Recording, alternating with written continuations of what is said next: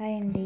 చిక్కుడు గింజలతో గారెలు ఎలా చేసుకోవాలో చూద్దాము. ఇవి చాలా టేస్టీగా ఉంటాయి హెల్దీ కూడా.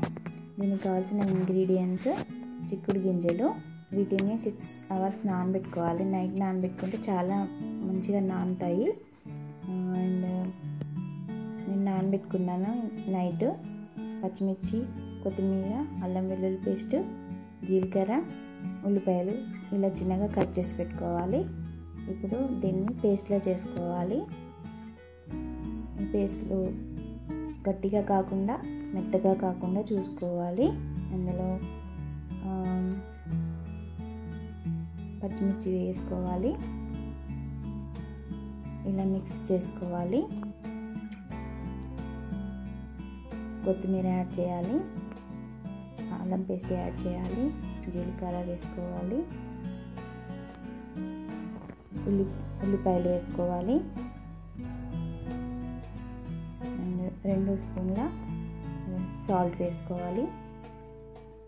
బాగా మిక్స్ చేసుకోవాలి. ఒకవేళ కారం కనుక మీకు తక్కువ అనిపిస్తే కొంచెం కారపొడి యాడ్ చేసుకుంటే బాగుంటుంది.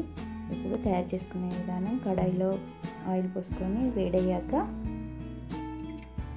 ఇలా ఒక క్లాత్ తీసుకొని ఇలా చిన్నగా ముద్ద చేసుకొని చిన్న చిన్నగా చేసుకొని ఆయిల్లో వేసుకోవాలి. డీప్ ఫ్రై చేయాలి వీటిని.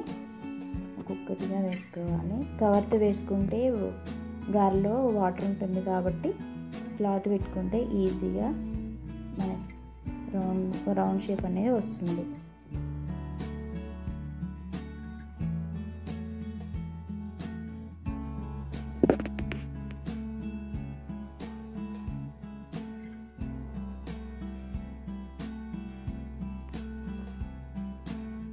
బ్రౌన్ కలర్ అయ్యేలాగా చూసుకోవాలి. ఎక్కువసేపు